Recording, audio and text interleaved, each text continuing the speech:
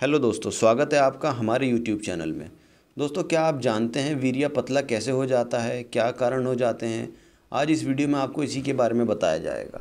दोस्तों, अगर आप सेक्सुअल प्रॉब्लम से जुड़ी सही जानकारी लेना चाहते हैं तो हमारे चैनल को सब्सक्राइब करना ना भूलें। दोस्तों, वीरिया क्या होता है? वीरिया हमारे पुरुषों की बॉडी में बनने वाला एक तत्व होता है। जब हम संभोग करते हैं और सेक्स करते हैं अपने पार्टनर के साथ तो वो जो वीरिया होता है, वो पार्टनर के अंदर जाता है, उसकी योनि के अंदर जाता है तो इससे बच्चे पैदा होने की क्षमता बढ़ती है। ये बच्चे पैदा करने की सबसे बड़ी वजह होती है, जिसका वीरिया मज़बूत होता है, गाढ़ा होता है, अच्छी क्वालिटी का होता है, उस, उसके बच्चे पैदा करने की क्षमता ज़्यादा होती है, जिसके वीरिया में कमी होती है, पतला हो जाता है, उसकी बच्चे पैदा करने की क्षमता कम हो जाती है। तो आज हम इसी के बारे में बात करेंगे कि वीरिया पतला क्यों हो जाता है, इसकी क्या वजह होती है। सबसे पहली वजह होती है दोस्तों शुक्राणुओं की कमी। ज़्यादातर लोगों में ये देखा गया है कि जो अपनी सेक्सुअल लाइफ को उसका ध्यान नहीं रखते हैं तो उनमें शुक्राणु की कमी आ जाती है। उसमें अलग अलग कारण होते हैं शुक्राणु की कमी की, किसी बीमारी की वजह से या बहुत ज़्यादा हस्तमैथुन करने की वजह से या कमज़ोरी की वजह से, सही डाइट ना लेने की वजह से, इन सब वजहों से, शुक्राणु में कमी आ जाती है। और जब शुक्राणु में कमी आ जाती है तो हम, वीरिया पतला होने लगता है।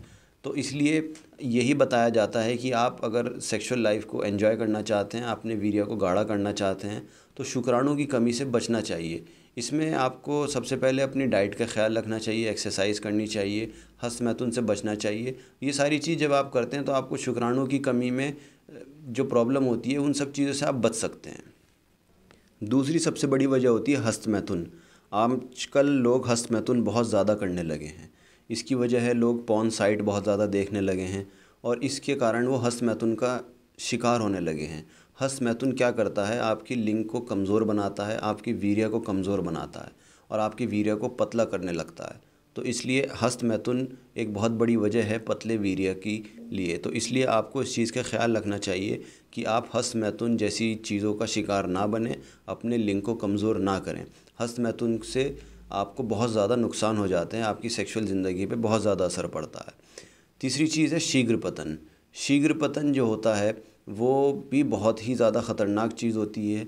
आपको इसमें एक तो सेक्सुअल सेटिस्फेक्शन नहीं मिल पाता है, क्योंकि जब भी आप अपने पार्टनर के साथ सेक्स करना चाहते हैं, उसके साथ प्यार भरी बातें करना चाहते हैं, कुछ प्राइवेट मोमेंट्स गुजारना चाहते हैं तो आपको शीघ्र पतन जैसी परेशानियों की वजह से वो सारे जो आपके प्राइवेट मोमेंट्स होते हैं वो ख़राब हो जाते हैं, क्योंकि आपकी जो वीरिया है वो इतना पतला हो जाता है और वो आपका झड़ने लगता है। शीघ्र पतन जो है, ये कमज़ोरी की वजह से होता है आप अपनी डाइट सही से नहीं ले रहे हैं, आप अपनी हेल्थ पे ध्यान नहीं रख रहे हैं और हस्त मैथुन बहुत ज़्यादा कर रहे हैं। हस्त मैथुन शीघ्र पतन का बहुत बड़ा कारण है, इसलिए आपको अपनी डाइट पे, अपनी हेल्थ पे, इन सब चीज़ों पे ध्यान रखना चाहिए और हस्त मैथुन नहीं करना चाहिए। इससे क्या होता है, इससे वीर्य पतला होने लगता है और फिर आपके बच्चे पैदा होने की जो क्षमता होती है, उसमें भी कमी आने लगती है। ऐसा नहीं है कि इसे ठीक नहीं किया जा सकता, इसे ठीक किया जा सकता है, मगर पहले एहतियात करना बहुत ज़रूरी है ताकि आपको किसी तरह की परेशानी का सामना ही ना करना पड़े। चौथी चीज़ आती है दोस्तों, आपकी एक्सरसाइज और आपके खाने पीने की कमी। अगर आप कमज़ोर हैं, आप सही से खाते पीते नहीं हैं, आपकी डाइट अच्छी नहीं है, आप एक्सरसाइज नहीं करते हैं तो इन सब कारणों की वजह से भी आपकी वीर्य पतला होने की वजह बन जाती है। अगर आप इन सब चीज़ों का ख्याल नहीं रखेंगे, क्या खा रहे हैं, अगर उल्टी सीधी चीज़ें खा रहे हैं तो आपके सेक्सुअल प्रॉब्लम्स का आपको बहुत ज़्यादा शिकार होना पड़ेगा। तो इसलिए हमेशा ये देखना चाहिए कि भाई हम अपनी डाइट का ख्याल रख रहे हैं, अपनी हेल्थ का ख्याल रख रहे हैं तो हमारी जो सेक्शुअल ज़िंदगी है वो बहुत बेहतर हो जाती है। तो दोस्तों, ये कुछ बहुत ज़रूरी बातें हैं जो वीरिया पतला होने के कारण बन जाती हैं। अगर आप इन सब चीज़ों का ख्याल रखेंगे तो आप देखेंगे कि आपकी सेक्सुअल लाइफ बहुत बेहतर हो जाएगी, बहुत इम्प्रूव हो जाएगी और आप अपने पार्टनर के साथ ज़्यादा मज़े से सेक्स कर पाएँगे और ज़्यादा एन्जॉयमेंट के साथ सेक्स कर पाएँगे। दोस्तों, फिर भी अगर आपको किसी तरह की सेक्सुअल प्रॉब्लम है या सेक्सुअल बीमारी है या आप किसी तरह का कुछ मालूम करना चाहते हैं तो आप हमारे दिए हुए नंबर पर संपर्क कर सकते हैं।